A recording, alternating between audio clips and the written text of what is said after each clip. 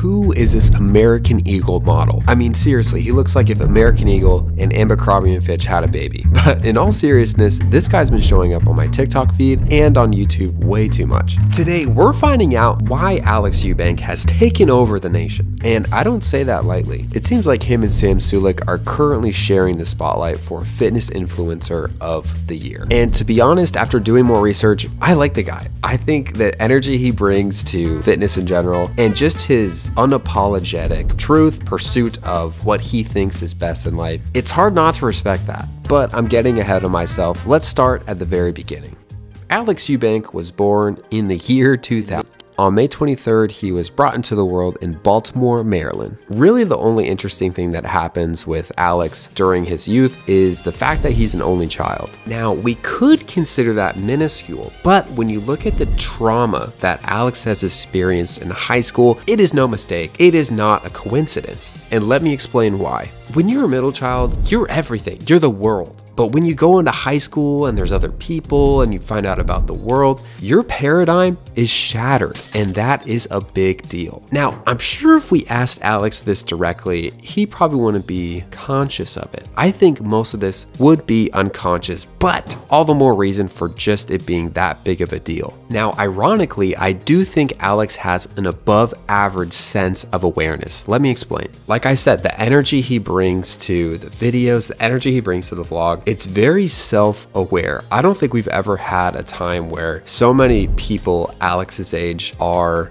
this in touch with the truth of themselves. I mean, how many people in the 1960s, 1970s were at the status Alex is and is so still in touch with his humanity? Probably not a lot of people, to be honest. I mean, even in one of his most recent vlogs, he says, Life is deeper than weights. And again, this is from a fitness influencer who's 20 23 years old. You think when you're 23 with all the testosterone that that's probably maybe the last thing you would be thinking about is these grandiose thoughts of life and death, but here he is preaching to his audience about the, if not the vanity of weightlifting to a certain point and the idea of having to live a meaningful life. Now, I'm getting a little bit ahead of myself, so let's go back to Alex's youth when he was in middle school. Now, Alex said he got in a lot of fights, which honestly is no surprise for Alex. Think about having an abnormally high level of testosterone in your body. I don't care how nice you are, you're probably gonna punch someone in the face at least once probably a couple times, if your testosterone is anywhere close to Alex's. It's funny to me seeing the regret Alex has as he talks about some of the fights he's been in with this kind of remorse. But honestly, I don't think there's anything he could have done to prevent that. I think it was just a matter of biology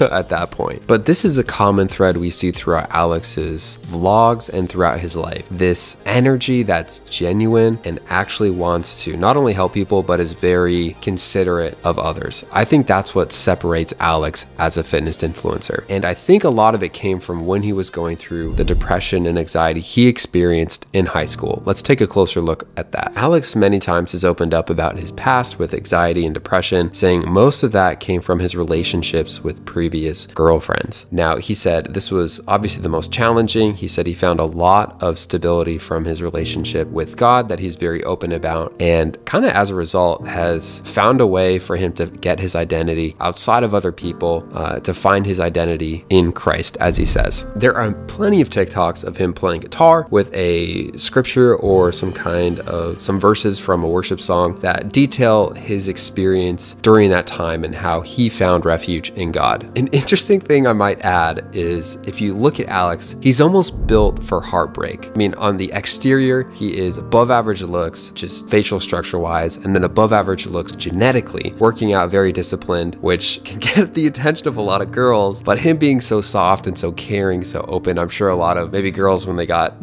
closer to him in a relationship, probably didn't enjoy that as much and left him as a result, which unfortunately had a negative impact on Alex. But I do think in this season of his life, life, it bettered him. But if we're being real, at that point of his life, he was kind of designed for heartbreak. And because of this heartbreak, it led him into self help. On the surface, Alex is a fitness influencer, but at the core, I think Alex is truly a self help bro. I mean, even just him quoting from Napoleon Hill, he is the cornerstone of self improvement material. He has read his book, Outwitting the Devil, and really is standing on the truth of people can make it out of their situations if they just put enough faith in themselves. During this time where Alex's life starts to get a little bit more interesting, he starts working out in the gym more and really, really commits to getting gains, going full out in the gym, really no friends, some relationships here and there, but really spending his energy making the most out of his testosterone in the gym. Now, it was at this time Alex graduated high school and started to go to a community college. He would also start to vlog some of his workouts and started to get a little bit of a following initially. Uh, he even got some attention from Bradley Martyn, who, as we know, is a prominent founding father in the fitness influencer community. With some encouragement from Bradley, Alex decided this is the thing he should do. He should stick to fitness and pursue this full time. In fact, Bradley Martyn actually invited Alex out to LA, and on this trip, Alex had to get on an airplane, and he remembers this being one of the biggest moments of his life. Like this being him before in high school, not being able to leave his house because of the anxiety he felt. Him getting on an airplane and going to a city he's never been to was a really big deal to him and really was a burn the ships moment for Alex. And when I say burn the ships, he really did. Around the same time he had a college assignment that was due, he opened up the document, took a look, said, screw this, and then withdrew from all of his classes at the same time. So this was a pivotal moment in Alex's life. Now, with all this success comes a lot of attention, and with attention comes criticism. In one of the pictures that Alex posted to Instagram, some people suspected foul play. Someone on Reddit decided to zoom in on one of the photos and found some contouring lines where there should have been straight lines, meaning Alex manipulated the photos in Photoshop.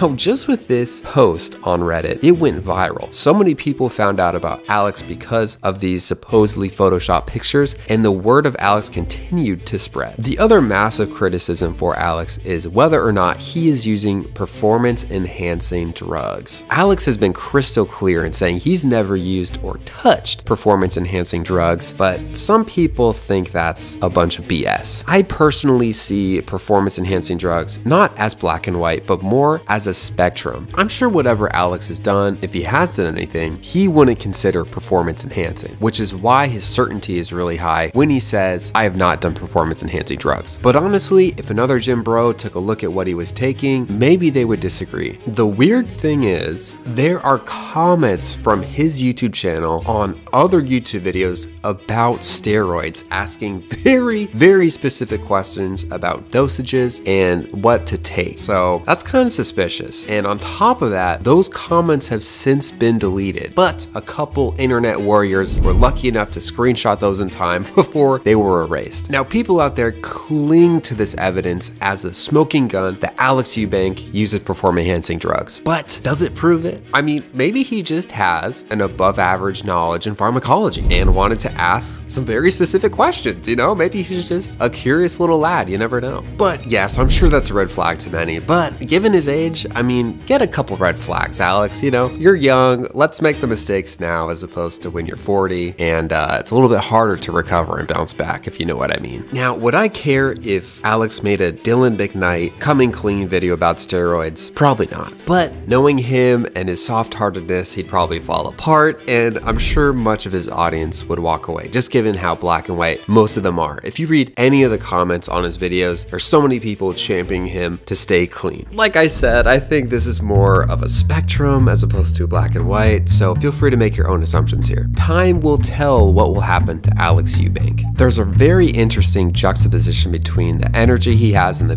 videos versus the weird photos that might have been photoshopped and the funny comments about steroid usage. Regardless of what happens, I think Alex Eubank's influence on the world is a net plus, and I say that sincerely. Let us know in the comment section other fitness influencers we should look at. If you watch for this long, consider subscribing and make sure to check out one of our other videos right here.